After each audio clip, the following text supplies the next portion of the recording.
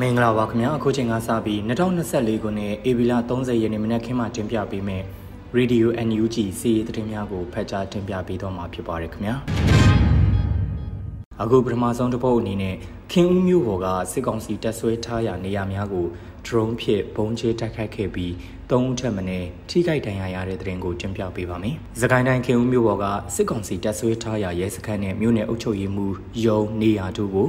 drone ဖြင့်ပုံကျဲချတိုက်ခိုက်ခဲ့ရမှာစစ်ကောင်စီတပ်သား၃ဦးထက်မနည်းထိခိုက်ဒဏ်ရာရရှိခဲ့တယ်လို့ Northern Tigers Group NTG ကသတင်းထုတ်ပြန်ထားပါတယ်။ဧပြီလ28ရက်နေ့ကအဆိုပါရဲစခန်းနဲ့အုပ်ချုပ်ရေးမှူးရုံနေရာတို့ကိုရှာထူဝနီးပညာ3 Fixed Wing Drone များဖြင့်တစ်ကြိမ်နဲ့ပုံသီး6လုံးကြနဲ့ နှစ်ကြိမ်တိုင်ကျဲချတိုက်ခိုက်ခဲ့တာဖြစ်တယ်လို့ဆိုပါတယ်။အဆိုပါတိုက်ခိုက်မှုကို Northern Tigers Group NTG နဲ့ဂလုံကြီးပြည်သူ့ကာကွယ်ရေးအဖွဲ့တို့ကပူးပေါင်းဆောင်ရွက်ခဲ့တာဖြစ်ပြီးတော့စစ်ကောင်စီတပ်ဖွဲ့ဝင်အနည်းဆုံး3ယောက်ထက်မနည်းထိခိုက်ဒဏ်ရာရနိုင်တယ်လို့ဖော်ပြထားပါတယ်။ဒါ့အပြင်စစ်စင်ရေးဖော်ဆောင်ရမှာအသုံးပြုဖို့ဘုံသီးများကိုဘိုးကောက်ယူရွှေဘိုခရိုင်တရင်15အဖွဲ့မှထုတ်လုပ်ကူညီပေးထားတာဖြစ်တယ်လို့သိရပါတယ်။ခင်ဦးမျိုးပေါ်မှာအထိုင်ချတက်ဆွဲထားတဲ့စစ်ကောင်စီတပ်သားများဟာညအချိန်များမှာပြည်သူများကိုခြောက်လန့်ပစ်ခတ်တာတွေကိုလှုပ်ဆောင်နေတာတွေတွေ့ရှိခဲ့ရတယ်လို့ဒေသခံများထံမှသိရပါတယ်ခင်ဗျာ။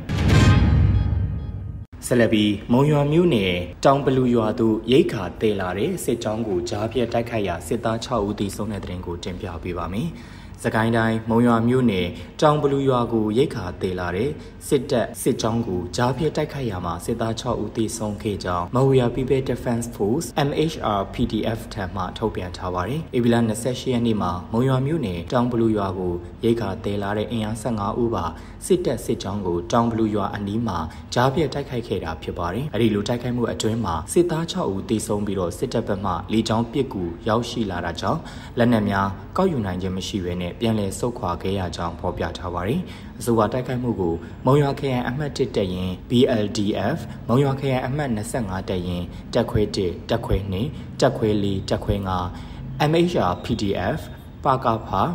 LPDF တို့ပူးပေါင်းတိုက်ခိုက်ခဲ့ကြောင်းသတင်းထုတ်ပြန်ထားပါရခင်ဗျာ။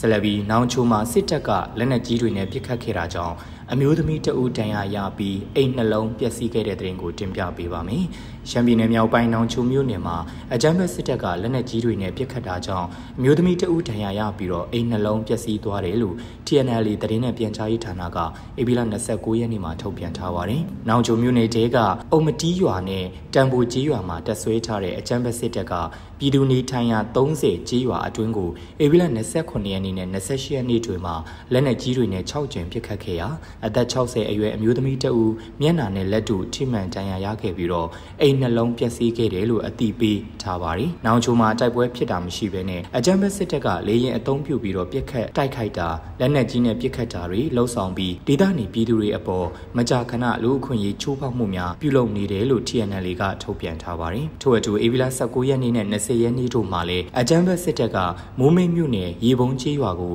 Jet Fighter နဲ့၄ကြိမ်ပစ်ခတ်တိုက်ခိုက်ခဲ့တယ်လို့ထုတ်ပြန်ချက်မှာ ဖော်ပြထားပါတယ်။ဒါအပြင်လာရှိုးမှုစေကြောက်မင်းနဲ့နောင်ချုံမြို့နယ်တို့မှာအကြမ်းဖက်စစ်တပ်က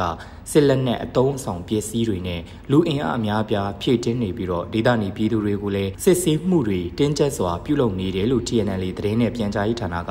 အသိပေးထုတ်ပြန်ထားပါတယ်။အခုလိုအကြမ်းဖက်စစ်တပ်ကစစ်လက်နက်အုံဆောင်ပစ္စည်းတွေနဲ့လူအင်အားဖြည့်တင်းနေတာတွေကြောင့်ရှမ်းမြောက်ဒေသမှာတိုက်ပွဲတွေပြန်ဖြစ်လာနိုင်တယ်လို့စစ်ရေးသတင်းရင်းမြစ်တွေကသုံးသပ်နေတာတွေလည်းရှိနေပါတယ်ခင်ဗျာ။ ဝမတူးစေးရုံကိုစစ်ကောင်စီကဒုတိယအကြိမ်လေကြောင်းတိုက်ခိုက်မှုထပ်မံပြုလုပ်တဲ့တဲ့ရင်ကိုတင်ပြပေးပါမယ်။ချင်းပြည်နယ်မင်းတပ်မြို့နယ်အတွင်းရှိဝမတူးစေးရုံကိုစစ်ကောင်စီတပ်က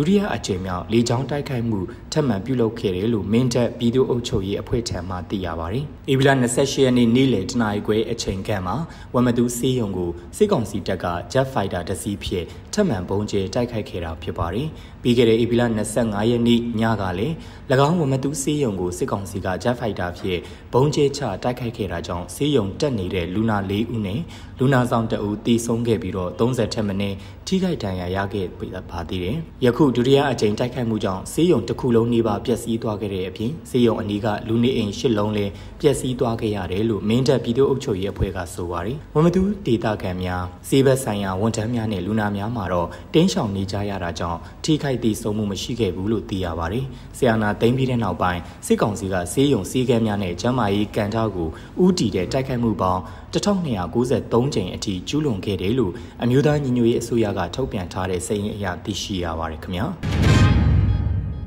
ဆက်လက်ပြီးတထုံမှာစစ်တပ်ကလက်နက်ကြီးနဲ့ပစ်ခတ်မှုကြောင့်အသက်80ခန်းအရွယ်အမျိုးသားတေဆုံးတဲ့တဲ့ရင်ကိုတင်ပြပေးပါမယ်။ကရင်အမျိုးသားစီယုံ KNU တပ်မဟာ1နေမည်ဖြစ်တဲ့တထုံမြို့နယ်မှာစစ်ကောင်စီလက်အောက်ခံအမှတ် 400နှစ်အမြောက်တပ်ကလက်နက်ကြီးနဲ့ပစ်ခတ်မှုကြောင့်အသက်80ခန်းအရွယ်အမျိုးသားတအူတေဆုံးကရောဘာချန်15ဧကမီးလောင်ပျက်စီးခဲ့တယ်လို့ KNU ဗဟိုကထုတ်ပြန်ထားပါတယ်။ဧပြီလ29ရက်နေ့ညပိုင်းမှာစစ်ကောင်စီတပ်ကလက်နက်ကြီးနှလုံးပစ်ခတ်ခဲ့ရာတထုံမျိုးနယ်ဓာယူကျေးရွာအနီးမှာရှိတဲ့ ကွန်းချန်တဲ့ကြာရောက်ပောက်ကွဲခဲ့တာကြောင့်အသက်68နှစ်အရွယ်အမျိုးသားတည်ဆုံးခဲ့ရတယ်လို့ဆိုပါတယ်။အဒီနေ့နေ့လယ်ပိုင်းကလည်းစစ်ကောင်စီတပ်ကပစ်ခတ်တဲ့လက်နက်ကြီးကြီးကြာရောက်ပောက်ကွဲခဲ့တာကြောင့်ကော်လှိုင်းရွာအနီးကရောဘာချန်15ဧကလည်းမီးလောင်ပျက်စီးခဲ့ရတယ်လို့အတည်ပြုထားပါတယ်။ အကြံဘက်ကောင်စီရဲ့အမှတ်400နှစ်အမြောက်တက်ရင်ဌာနချုပ်ဟာတထုံမြို့နယ်အင်းရှီရွာမှာအခြေစိုက်တက်ဆွဲထားတယ်လို့သိရပါတယ်။ထို့အတူ KNU တပ်မဟာ3နေမီဖြစ်တဲ့ညောင်လေးပင်ခရိုင်ရွှေကျင်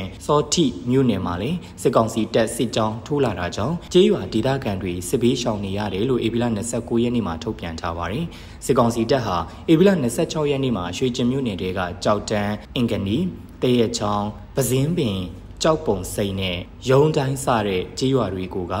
စစ်ကြောင်းထူလာတာကြောင့်အိမ်အောင်စု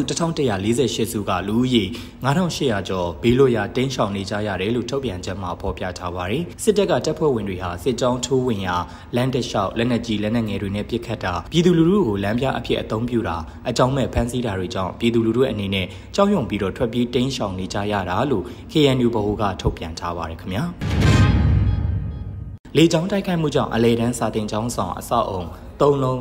စိုင်နှလုံးနဲ့အရက်သားအိမ်နှလုံးထိမှန်ပျက်စီးတဲ့တဲ့ရင်ကိုတင်ပြပေးပါမယ်။ အာနာသိန်းအကြံဘက်စစ်ကောင်စီတပ်မှလေကြောင်းတိုက်ခိုက်မှုကြောင့်တကေးလောင်းရွာရှိအလေတန်းစာတင်ကျောင်းဆောင်အဆောက်အုံ၃လုံးစိုင်နှလုံးနဲ့အရက်သားအိမ်နှလုံးထိမှန်ပျက်စီးကြောင်း KNU ဗဟိုမှထုတ်ပြန်ထားပါတယ်။2024ခုနှစ်ဧပြီလ28ရက်နေ့မှာအာနာသိန်းအကြံဘက်စစ်ကောင်စီတပ်မှည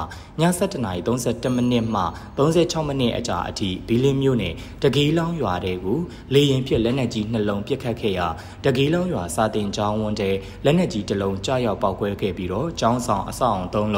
တကေးလောင်းရွာနေကိုဇော်လင်းပိုင်နဲ့ဓာတ်စီဆိုင်ကိုဝနာထုံးပိုင်နဲ့ဆိုင်ကယ်ပြင်ဆိုင်နော်ကပေါ်ထူးနဲ့နေဘလူထူးမိုးတို့ရဲ့နေအိမ်တို့အားလက်နက်ကြီးကြီးစားထိမှန်ပျက်စီးခဲ့လို့ ထုတ်ပြန်ထားပါတယ်။အာနာသိန်းအချမ်းဘက်စစ်ကောင်စီတပ်မှမကြသေးမီကပင်တကေးလောင်းရွာအနီးရှိမင်းစောရွာအားလေကြောင်းတိုက်ခိုက်မှုပြုလုပ်ခဲ့ပြီးတော့မင်းစောရွာစာတင်ကျောင်းနဲ့နေအိမ်ဆောင်အုံများထိခိုက်မှုရှိခဲ့ပါတယ်။လေကြောင်းတိုက်ခိုက်မှုများအားတိုက်ပွဲဖြစ်ပွားမှုမရှိဘဲနဲ့ရွေချက်ရှိရှိဒေသခံအရက်သားလူထုကိုပြစ်မှတ်ထားတိုက်ခိုက်နေတဲ့အပြင်စာတင်ကျောင်းများကိုပါပြစ်မှတ်ထားတိုက်ခိုက်နေခြင်းဖြစ်တယ်လို့လည်း KNU ဘီလင်းမြို့နယ် သတင်းတာဝန်ခံကပြောကြားထားပါရခင်ဗျာ။အခုတင်ပြခဲ့တဲ့စီးရီးသတင်းကောက်နှုတ်ချက်တွေကိုတော့ Radio NUG သတင်းတောက်ကိုခန့်မင်းစစ်သွေးနဲ့ခါရှယ်တို့ကပေးပို့ထားတာဖြစ်ပါတယ်ခင်ဗျာ။